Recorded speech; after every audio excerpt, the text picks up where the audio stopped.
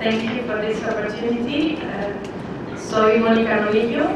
I represent Coordinadora de la Mujer, uh, Don and the major, Women's Major Group.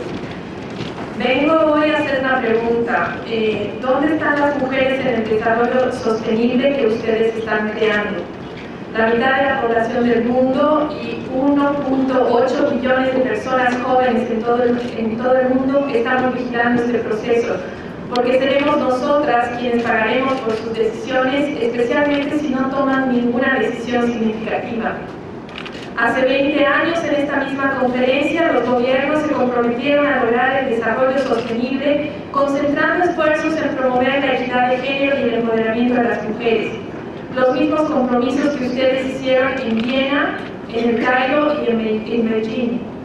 Hoy, 20 años después, estos compromisos no han sido siquiera logrados y queda aún una gran tarea pendiente es central para este desafío proteger y promover los derechos de las mujeres y especialmente la autonomía sobre nuestros cuerpos y nuestra integridad, garantizando nuestros derechos sexuales y derechos reproductivos.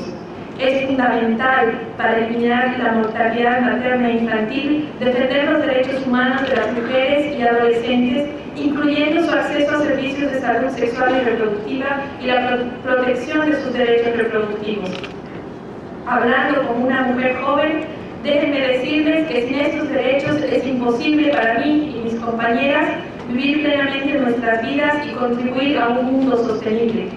Instamos a todos ustedes sala reafirmar su compromiso con nosotras, las niñas y mujeres de este mundo, quienes soportamos la carga, pagamos los costos, trabajamos duro para el desarrollo sostenible y recibimos tan poco a cambio.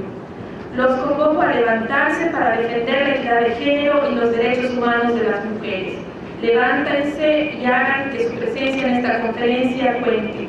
Gracias.